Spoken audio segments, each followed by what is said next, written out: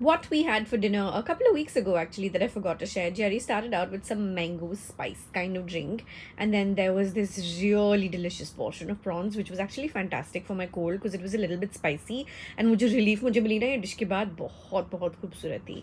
Then he ordered for some chicken steak, which he found pretty average. This, by the way, is at Out of the Blue, one of my favorite restaurants. These onion rings were nice, but the South Indian touch to it was a little bit of a hit and miss.